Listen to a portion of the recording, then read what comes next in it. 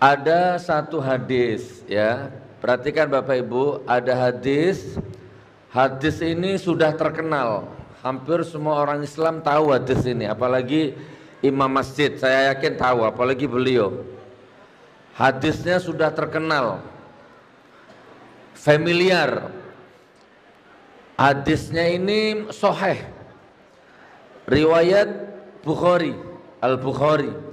Dalam kitab iman ya. Bab ciri-ciri orang munafik nomor 33. Atau di yang diriwayatkan oleh Muslim. Sama di kitab iman bab sifat-sifatnya orang munafik nomor 59. Bunyi hadisnya begini. Ayatul munafiqi salasa. Idza haddasa كذابا وإذا وعد أخلافا وإذا تمينا خانا semua orang tahu hadis ini. إذا كذابا إذا حدث كذابا وإذا وعد أخلافا وإذا تمينا خانا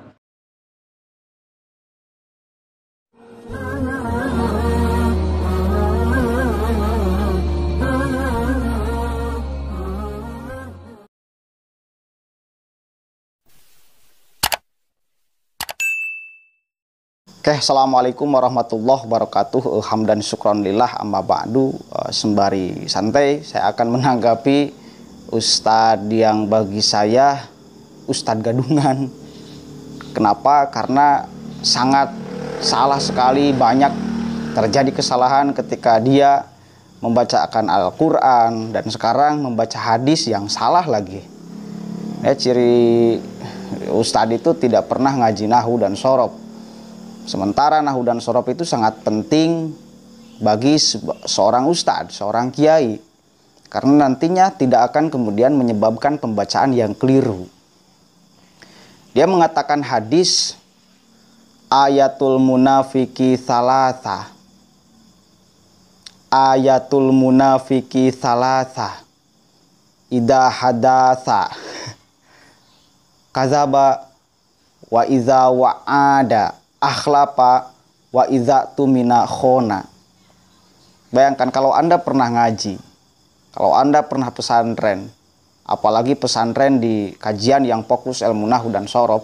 Kebetulan saya dulu di pesantren nahu dan sorob hampir enam tahun, maka saya sangat geli ketika mendengarkan bacaan Sugik Nur ini. Mengatakan ayatul munafiki salasan.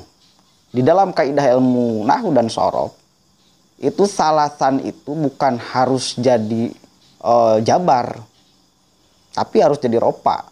Kenapa? Karena itu adalah khobar dari mubtada.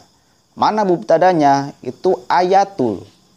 Ayatul munafiki salasun harusnya. Ciri orang-orang munafik itu ada tiga. Idah haddasa kadaba wa iza ada akhlafa wa ida tumina khona. Itu yang itu yang apa yang benar. Itu yang namanya uh, khobar itu harus ropa. Di dalam kitab jurumiyah disebutkan uh, al mubtada'u huwa ismul marfu'u al ari anil awamil labdiyati wal khobaru huwa ismul marfu'u al musnadu ilaihi di dalam alfiah ada yang mengatakan contoh un zaidun wa adirun khobar ingkulta zaidun adirun mani tadar. Terus kemudian juga wa awalu mubtada'an bil ibtida kada karob khobarin bil mubtada. Itu kan jelas. Yang namanya khobar itu harus ropa. Itu jadi Sugik Nur ini sangat jelas. Dia itu tidak pernah ngaji dia itu tidak pernah pesantren. Memang hadisnya betul. Itu uh, rawahu Bukhari.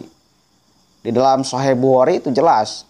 Bukhari wa Muslim diriwayatkan oleh Abi Hurairah.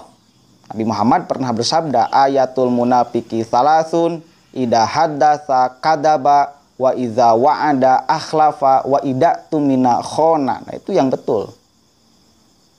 Pembacaan itu akan kemudian sangat terasa keliru ketika kita pernah ngaji. Ya mungkin jamaah Sugik Nur ini, ya orang-orang mohon maaf, mungkin belum pernah ngaji. Sehingga sesuai dengan yang dikatakan oleh uh, Ibnu Rus, ketika Anda mau menguasai orang bodoh, maka bungkuslah segala sesuatunya dengan agama. Ini kan bahaya ketika segala sesuatu itu dibungkus oleh agama, itu bahaya. Kalau misal yang mendengarkan orang bodoh, Anda pengen menguasai orang bodoh, bungkuslah segala sesuatunya dengan agama. Sebagai masyarakat, boleh kemudian Anda mempertimbangkan pikiran saya dengan pikiran Sugik Nur. Membaca hadisnya juga sudah salah. Itu jelas nampak. Itu bakal geli Anda mendengar baca-bacaan Sugik Nur itu. Ayatul, sangat kaku dia bicara. Artinya bahwa dia memang tidak pernah ngaji dan memang secara sejarah dia pun tidak pernah pesantren. Oke. Bukan berarti saya ingin membenci Sugik Nur. Ingin meluruskan karena urusan agama ini. Gak bisa kemudian orang-orang seperti ini dibiarkan berkeliaran tanpa ada yang mengkritik. Dan masyarakatnya kemudian harus juga sadar bahwa orang-orang seperti ini jangan terlalu diagung-agungkan karena jelas faktanya. Kesalahannya sudah nampak, jangan kemudian Anda terlalu fanatik karena mungkin saya golongan yang kurang Anda sukai sehingga melihat saya bukan dari ilmu pengetahuan, tapi dari golongan siapa? Ini celaka lagi. Kritik itu harus ditujukan kepada ilmu pengetahuannya, bukan kepada orangnya. Saya mengkritik ilmu pengetahuan Sugik Nur. Saya mengkritik label yang disandang oleh Sugik Nur tanpa ada tanggung jawab yang serius gitu loh. Harusnya kalau misal Sugik Nur itu ingin mengaku bahwa dirinya dai nasional belajar agama yang betul, belajar agama yang jelas, belajar lagi Al-Quran, belajarlah di hadis, belajar lagi kemudian fatwa-fatwa ulama, agar kemudian menyampaikan kepada umat itu tidak keliru, tidak salah kafrah. Hingga pada akhirnya kritikan muncul termasuk dari saya yang pernah nyantren. Karena saya sangat geli mendengarnya. Oke, mungkin itu saja yang bisa saya sampaikan. Kurang lebihnya mohon maaf. Wallahul muwafiq ila. Wallahu a'lam bishawab. Assalamualaikum warahmatullahi wabarakatuh.